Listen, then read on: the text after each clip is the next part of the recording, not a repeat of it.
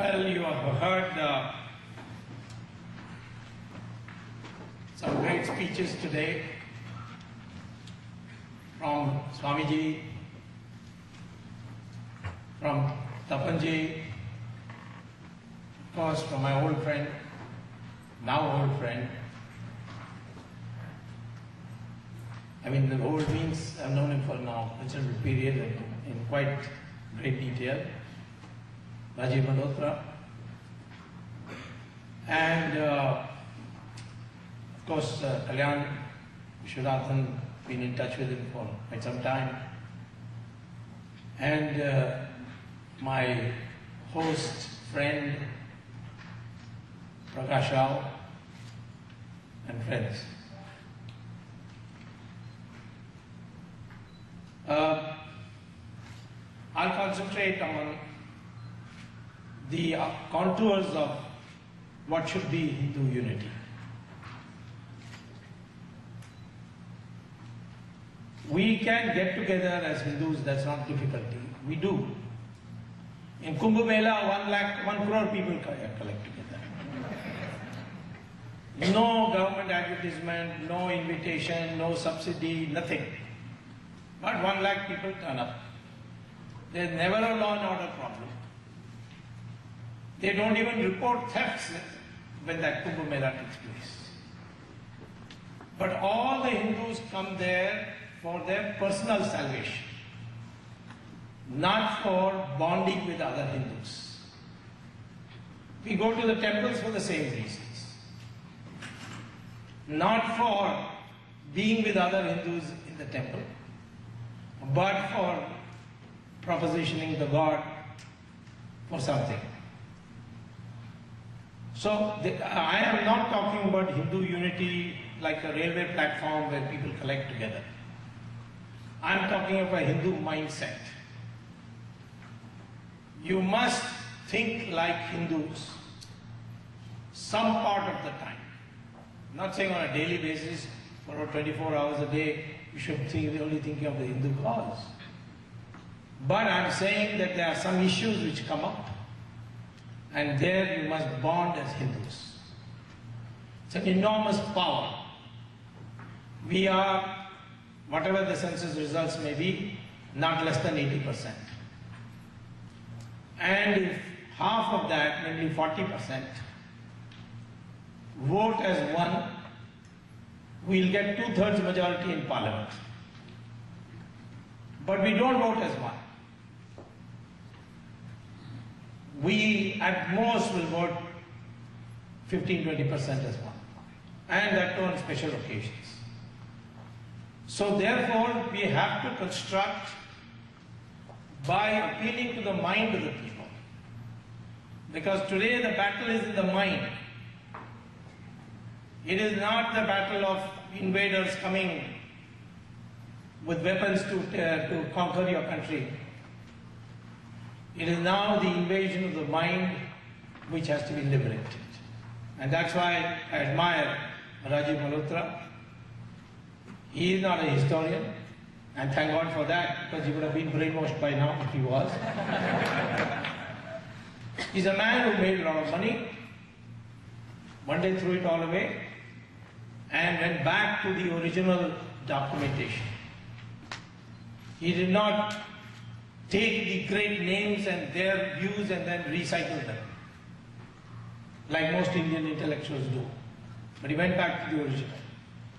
And that's what we need to do to know who we are. Before we can become a corporate Hindu, become of corporate Hindu psychology, we must first know who we are. Some people say, why should Hindu feel secure? There's such a large number, 1.2, uh, nearly 1 billion people. Well, numbers by themselves are not enough. You can have a thousand goats standing at one place, and one tiger comes, the majority is with the goats. But who will run? The goat will run. They will not run together, they will run helter-skelter. And the tiger will pick which is the juiciest one of them all and slay it and eat it up. nor strength is enough. You can have five lions in a cage in a circus, one thin ringmaster who tells these lions, get up, climb up on the stool. They'll all climb up on the stool. Each one of them is strong enough to kill that ringmaster in the, inside the cage. But they obey because the mind has been captured from when these lions were pups. Today we Hindus are like that. Partly goat, partly lion of the circus.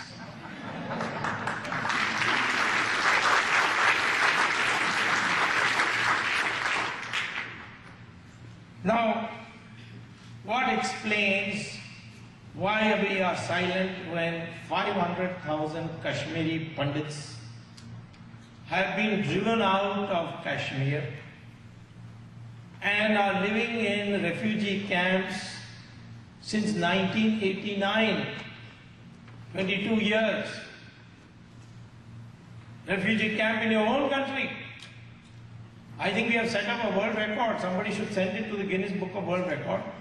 Only country where their own people live in a refugee camp in their own country. Nobody talks about. Governments have come, governments have gone. Unfortunately, when I came into government, we didn't last very long. And if the problem had not started really, I became a minister in 1990. This happened in 89. And by the 500,000 people, it was only after 1995 they all came up.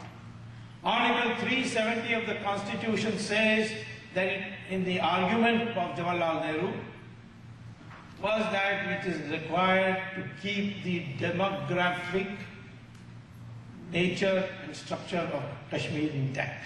Otherwise, others from India will go and settle there. Well, that means that article also applies for changing the demographic composition by driving out the Hindus. So today I have a right to restore the demographic composition as has existed at the time when Kashmir acceded to India.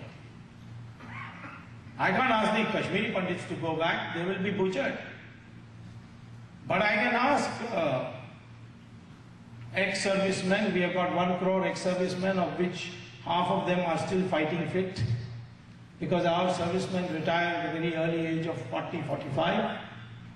Many of them are bored sitting at home, they are ready to, to sign up, give them weapons, give them money and say go and settle down in Kashmir. If they send you or send out 500,000, we will send out double that number.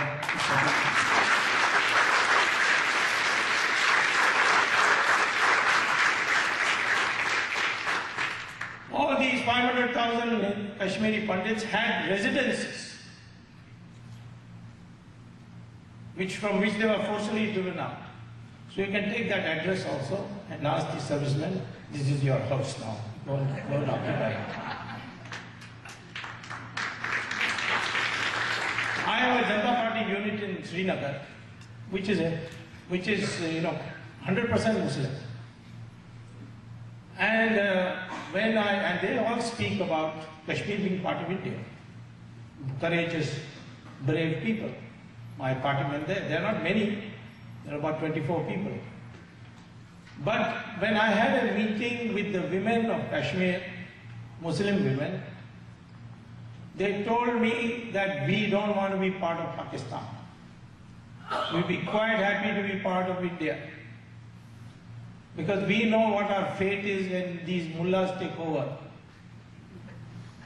But the propaganda which is being unleashed against us is that the Hindus will never fight and after much bloodshed they will concede. They conceded Pakistan, they will concede the independence of Kashmir also.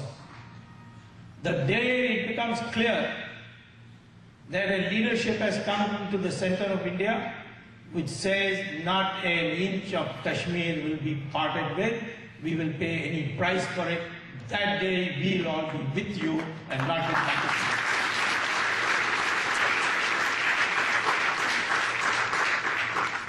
And Kashmir is whose? It is ours. I don't need any document for it, although I have a document. That document is the instrument of accession. How was Pakistan created? 1947 June. The British Parliament passed a law because there was no Pakistan at that time.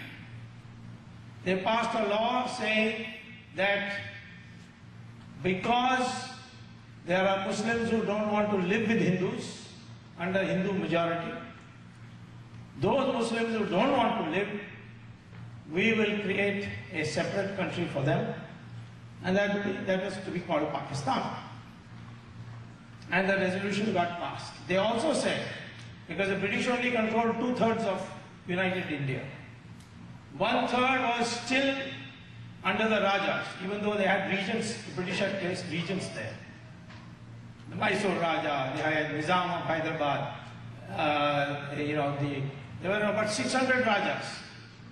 And the British declared them as independent countries, including Kashmir.